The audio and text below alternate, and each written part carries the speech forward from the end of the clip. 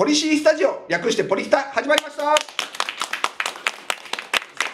あ、前回はですね、もうこの新体制で、えーネットメディア局についてちょっとお話をし、えーさせていただきましたけれども、今回は後半戦で、その中でもこのポリスタに特化してお話をさせていただこうと思います。メンバーは引き続きこんな感じではいやっていきますので、よろしくお願いします。さあ、引き続き MC 中井沢さんにやってもらいますけども、今回から結構ポリスタ変えようってしてるんですよね、僕はそうですね。まあ実はこの前の回からすでにちょっとトライアルはしてるんですけど、うんまああの2022年の11月からポリス始まって、もう1年ぐらいこうやってきた中で、まあ長いね、もう1年もやったんだ。トータル25回25回収録してますと。で、あの、ここにいる皆さんは1回出ていただいてる方なんで、うんそうですねあの、まあ、こう、いろいろ議論する中で、ここを変えた方がいいんじゃないかとか、うんむしろここはいいとこだから残した方がいいんじゃないか、みたいなところをちょっとあの、お話しさせさせていただいてて、今回主に3つうん大きく変えようと思ってますと。うんで1つ目が、もうこれすでにやってるんですけど、30分だったところをこう短くして15分15分の前後半で分けましょうっていうことをすでにやってます。これさっきあの町野さんからもお話あった通り、こうより短くこう見やすい形にフォーマットをしようということで、これ今やってますと。で、2つ目はですね、これまで有識者、ポリポリ側からあの連れてきて有識者にこう提言書っていうのをうん書いてもらってたんですね。まあ、ただ、こういろんな反応を見てみると、内容が結構専門的うんで、まあ、難しい内容が多い。結構難しい内容でやってたんですよ専門ね。的な例えばそのブロックチェーンの提言とか、あのリスキリングの提言とかいろんな分野でやったんですけど、まあ、そもそも例えばブロックチェーンって何とかっていうのが、まあ、よく分からなかったので、まあ、今回こう前後半で分ける中で前半でその政策の前提が分かるような解説を有識者にしてもらいつつ後半でまあ提言というよりかは自民党さんこれどうなんですかと。うん。うんこうよりこう本音であの政策について語れるようにこう自民党に対して物申したいことみたいな形で、うん。よりカジュアルに提言してもらうようにしよう。ということを、まあ、あの2つ目の変更として、前回はもういきなり入りましたからね。そうですね、うん。はいきなり提言書から入っちゃったん確で、なかなかこうついていくのが難しかったっていう。これ裏エピソードがあって、うん。前結構このポリスターのね MC をうん。それこそ伊藤さんと最初させてもらってた時に、ゲストに塩崎さんが出てもらって、ええ。塩崎明さんええが出てもらってこうやって喋ってた後の終わった収録終わった後ですよ、うん。収録終わった後に「あポリスターって結構緩いんだね」って言ってもうそれが狙いだったんですけど、あ結構緩いんだねって言って、うん。もうそれでもうポリポリさんたちがそれが基準になっちゃったそうの何をってなっていやいやいや。じゃあちゃんと提言書作ってくるぜって言ってくれてであのしっかりとした番組で1年間やらせてもらったんですけど逆に今度あの硬い方にドライブしその硬くなった原因は塩崎明いやいやいやいやいやいやそういうわけそういうわけじゃないんですけど、まあ、うなずいたね。気持ちは切り替わりました。結局あのあの時からね火がついてきちんと提言書が出てくるようになって。うん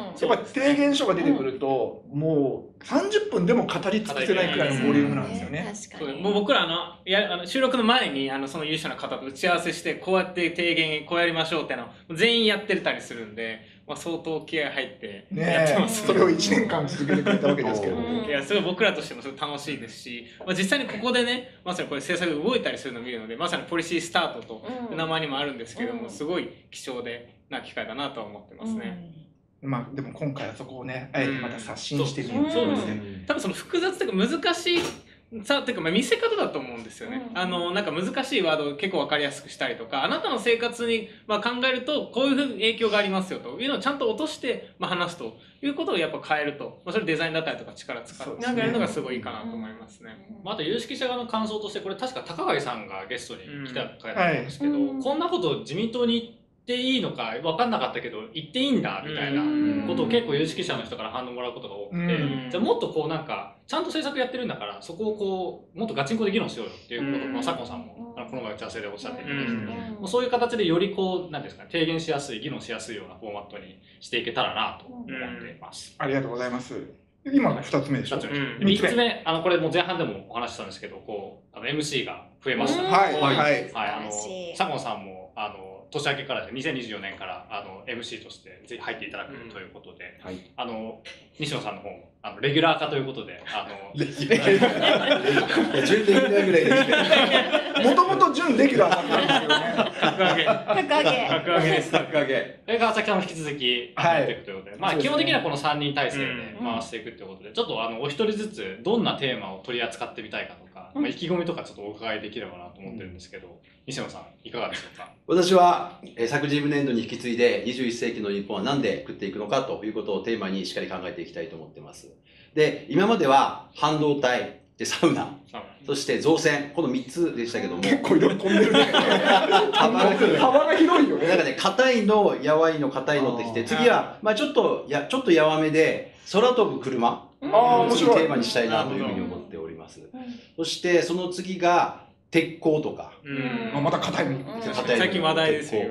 で、あとは、その21世紀の日本なんで食っていくかということで、製造業がメインで考えちゃってるんだけども、やっぱり農業とかうん第一次産業っていうのもしっかり考えなくちゃいけないし、すごい潜在能力を秘めてるものですので、農業輸出みたいなのをテーマにできたらなというふうに思ってます。うんそれ以外、なんかいろいろこういうテーマいいんじゃないかということで言っていただければと思います。あの繰り返しになりますけど、やっぱりこう、こえー雇用の流動性とか労働法制とか中小企業政策とか、あるいはデジタル化とか、そういうこう横串じゃなくて、横串はもう皆さんすごい議論してるんですけど、個別の分野、個別の政策についての議論がなかなか少なかったのかなという印象ですので、うんそれをしっかり見ていきたいというのが私の思いです。素晴らしい。素敵あの、ヒデとか前回めちゃくちゃ頑張ってましたんで、それをできるだけサポートできるように ありがとうございます。ありがとうございます。す。よろしくお願いし思ます。佐藤さんはいかがですか？はい、今、西野さんの話聞いてて、まあ、ほぼ全部の産業にわたって、西野さん、縦で掘っていくって話をされたんで、僕、どっかやるって言っても、多分、重なっちゃうことが多いのかなって今、聞いてて思ったもんですから、まあ、重ならないようにするか、僕はもう西野さんのサポートで。サポート、サポート。が、まあ、今、西野さんが横串は多いけれどもって言ってたんですけど、うん。本当に横串ってその大事なキーワードでもあるし、我々政治家だからできることが横串だと思うので、そこはまあ改めて自分の中でその軸ってなんだろうか、横串ってなんだろうかっていうことも含めて、あの、このポリスタで、あの、解いていったり、議論させていただいたりしたらいいなと思ってます。いやもうね、二つお願いがあってね。うん。一つは、ちょっとまだスポーツ分野がそこまで議論できてないんですよ。うん以前、あの、朝日健太郎先生に出ていただいてお話はしたんですけども、まさにそのモータースポーツの分野とか、うんそこからつながる、えーカーボンニュートラル、はい。カーボンフュエルの話とかそう、そういうジャンルとかね、うん。まさに全然我々も知らない世界をうん体験してこられたんで、はいそういうお話も聞きたいなと思いました。あとは一緒に MC として、はい。ここにアサインする議員さんを探すっていうのが実はね、かなり大変なんですよ。うん有識者ね、うんポリポリさんからこう連れてきていただくじゃないですか。で、この分野に詳しい政治家は誰だっていううのをん探すのが実はめちゃくちゃ大変で、永田町マップって僕らの手元にないじゃないですか。確かにないですね。誰が詳しいかを探すのが結構大変っていう。そうすると、おのずと僕らのこうつても広がっていくんですけど、うんはい。僕、今僕だけでこう、どどっちかというと探してたんで、うんやっぱりここは左近さんのうん人脈も使っうんて、いろんな議員さんね、アサインするの手伝ってほしいなと。もちろんです。これ結構大変よ。全力で手伝い。なんだろう、か軽いよね。た多分大変さがいまいち分からない。これもうね、半年後にはもうひいひい言ってると思うんですけど。いつもありがとうございます、本当に。はい、で川崎さんの方は、なんかこう、1年間やってみた上での話であると思うんですけど、なんかこう、来年これやってみたいみたいなことなんかあったりしますか？うーん、またあの学生さんとの話はまたやりたいかなと思う。うんあとはあのリバースメンター、まさにポリポリさんのご協力もあってやってるリバースメンターのような若い方とのこの対談、まさに政治家に対してどういうイメージを持ってるかっていうのと、逆に我々は学生さんにこういうふうな、あ今後将来のビジョンを持ってほしいみたいな、うん。そういう対談もまたやってみたいなっていうふうに思いますしね。それこそ一回佐藤さんも出てもらいました、学生の時に出させていただいて、うん。とってもなんか真面目ですごくこう未来志向な学生さんだったんで、本当に驚きました。うん。うんそういうのちょっとやっていきたいなと思いますね。まあポリスタは結構あの、まあ、ポリシーポリシーと言ってるだけあって結構真面目であのこういうことやりたいと。いうのは結構あのなんですかね、まあ、未来志向というか。でもまあ軽やかさもあると。いうこの2つの良さが結構いいなと思っていて、まあ、多分固くやりつつ、まあ、ちょっと緩めのコンテンツだったりとか結構新しいコンテンツもすごい、まあ、楽しみにはしていて。それこそあの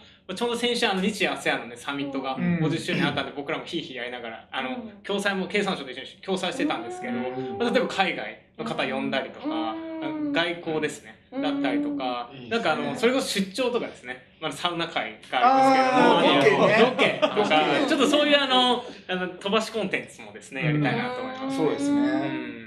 軽い回の時はちょっとこの壁の色変えたい あーそうできたらいいなねと今ちょっともうスタッフの皆さん苦笑いですけどいろんな工夫をねねしたいですね。確かに。さあそういうわけでネットメディア局長としては、はい。このポリスタに対して、はい。えーまあ、数字を取れ以外にですね こう求める像っていうのはありますかね、やっぱりポリスター自体の知名度アップをぜひ見てくださってる方たちには拡散を通じて助けていただけると嬉しいなと思っててね。この間ちょうどあのイベントご一緒させていただいた時にも、はい。政策提言をするっていうことをまだやったことないベンチャーの方とか、うん。スタートアップの方がいっぱいいるんだなっていうことを私たちも気づかされて、あの議員に対して意見を言うとか質問をするとかっていうことがまだちょっと距離があるのかな、それを縮めていく必要があるよねっていうことをあの上手にあの伊藤さんが引っ張ってってくれたんだけどその時に「ポリスタもありますから」って宣伝したんですよね。そうです。めちゃくちゃ画面についてあの 完全にスタートアップのイベントだったんですけど一番最後のことはポリスタ見てくださいって言っといたんで。素晴らしい宣伝ですね。一緒に、まあ僕らもね、ちょいちょいやっぱりそういうのは宣伝していかないといけないですよね、うん。以前はボイシーっていうね音声メディアコンテンツで裏ポリスタやったことがあって、うん。裏ポリスタってこのポリスタのうん。撮った後のえー。実はこう秘蔵話みたいなのをあ音声でー確かカメラが止まった後が面白いってことあるから実はねね。実は裏側の方が面白いみたいな。まあ、知名度やっぱ大事です、まあ、結構それこそね知名度ある方を呼んで、まあ、ガチでディスカッションしてもいいですしあとはそれこそやっぱアメニティですね、T シャツとかパーカー。あー。作るっていう。おーポ今ステッカーだけある。ステッカー。あるまあねへーそういうの作るのね好きなんですよ。あなんかオフィスにねあのパネルが死ぬほどあるんですけど。とにかくそういうのね分かりやすいんで。まあちょっとこういうスーツじゃなくてね。そうですあそうなんか違う格好っていうのもいいかもしれじゃあない。T シャツとパーカー作りますだって一回あのダンスの会やりたいみたいな話があって。だって二人ダンサーでしょ？そうです。そう佐久間さんもダンスそうだったのね。少しだけ。少しだけ。じゃあ。ダンス会を。うん。そう実はダンス議連っていうのもねありますよね、うん。そうなんですよ。じゃあみんな最初踊ってあのダンスつついて議論する。っていうでもそのはあダンス一個とっても、うん。例えば学校でダンスを教えるのか教えないのかとかっていうのも議論したわけじゃない、うん。でまあそれは日本舞踊もあれば、うん。新しいタイプのダンスもあるだろうとかね。今、まあ、D リーグもできてね、うん。そのこうみんなで競い合いながら技がうん。どんどん磨かれてって、まあ、アメリカとかヨーロッパとか海外ともこう競争できるだけのものになったとかそ,、れだって政策とか応援とかっていう 私たちの関わりも、まあ、多少なりともあったかもしれんですよない。ね。まさにこの政策とか政治っていうとちょっと遠いところに感じるんですけど、うん。いや実はもうあの学校でダンス習ってると思うんですけど、うん。これは実はねいうんわゆる政策の一環でうん。例えばまあ教師の方が教えるのが結構難しかった。り、うん。まさにこれ政策課題ですよねと。うん。いうのをもう本当にこういうところで言うと実際にこういう政策とか社会が変わると、いうこういう成功体験をするのも大事ですしあのダンスに関してはあの、まあ、ブレイクダンスがねうん。あのオリンピックの競技になりましたけど日本相当強豪なんでうん。もう楽しみにもしてますね。楽まさにそれロケ行きますか？いいですポね。リスタロケパリパリね大丈夫です行けない国内でのそうダンスのね。こう強化合宿というかね、うん。そういうのも見てみたいかもしれないね。いいですね。うん。まさに、そういうのをどんどんやっていきたい。はい。新しいポリスタをねまたぜひ皆様にも楽しみにしていただきたいというふうに思いますけれども。中井川さんとしてのこうポリスタとしてのこう意気込みをぜひ。そうですね。まあ結構テーマをもうちょっと拡大していきたいなと思ってて、割とこうまあ2023年は新しめの分野を比較的重点的にやったかな。とデジタルとか、うん。あのスタートアップとかリスキリングとか、まあ、うん Web3 も暗号資産もねうん。やったんですけど、もっとこう例えばさっき西野さんがおっしゃった農業とか、教育とかもそうですけどもっとこう身近なところにある政策分野についても扱えるようにしたいなっていうのは、まあ一個。もう一個ポリポリからも新しくちょっと人をアサインしたいなと思ってなるほど。ちょっとこうご期待って感じなんですけど、え伊藤さんがサボりがちだから。そうなんです、はい。伊藤さんよりはちゃんと来てくれる人にしようと。そういうことです忙しいからね。いやいやいや。いやあのもう議員さんは3人体制なのでポリポリも3人体制確かに。確かに。やっていきたいな。確かに。あいいですね。人材拡充で。人材拡充で。ぜひまた楽しいポリスタにしたいというふうに思います。さあそんなわけでもうお時間も来ているのかな？もうあっという間ですねこれだけのねたくさんの人数でお話をさせてもらうと。またあの次回どんなテーマにするかっていうのをね皆様にも期待していただければと思います。新体制になりました。ポリシースタジオを略してポリスタこれからも楽しみに見てください。どうぞよろしくお願いします。ありがとうございました。ありがとうございました。ありがとうございます